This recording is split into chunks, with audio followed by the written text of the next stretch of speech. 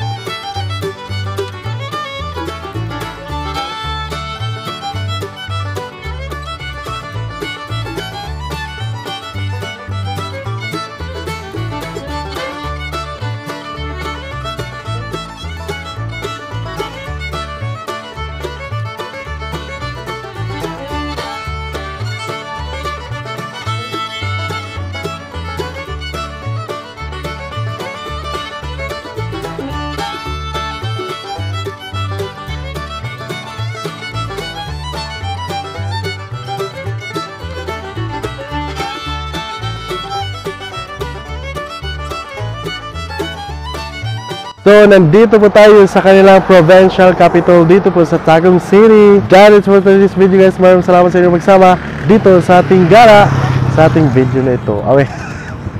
sa road trip dito sa Tagum City. This is Philip Man. Huwag niyo pa kalimutan subscribe and follow my all social media accounts.